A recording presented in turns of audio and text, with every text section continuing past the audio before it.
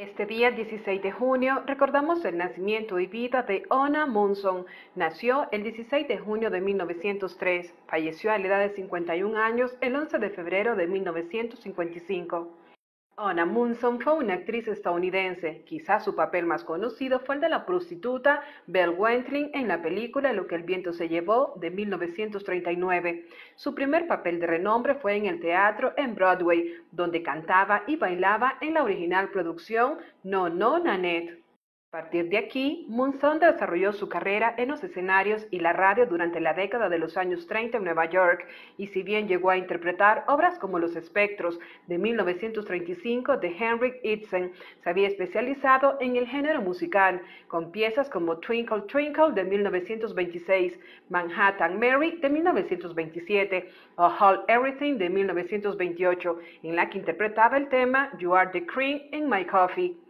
El primer papel protagonista de Ona Monson fue en la película de 1930 Going Well.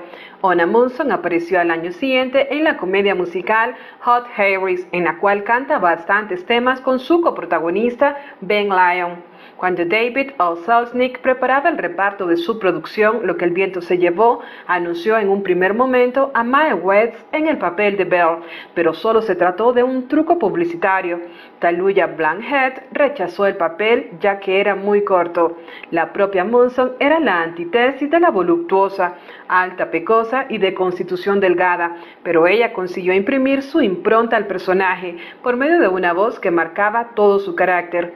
Ella impuso a su personaje una voz profunda y marcada, con un alto contenido erótico. El aspecto necesario para el personaje de Belle fue trabajo de los departamentos de vestuario y maquillaje. Ona Munson de algún modo se encasilló en este último papel, solicitándosele papeles de un tipo similar. Así, dos años más tarde, interpretó un tremendo éxito en el papel de Madame, en este caso China de la película de cine negro de Joseph von Sternberg, El embrujo de Shanghai, una parte de él escrito al parecer por Anna May Wong. Fue parte de la vida e historia de Anna Munson en el aniversario de su nacimiento este día 16 de junio.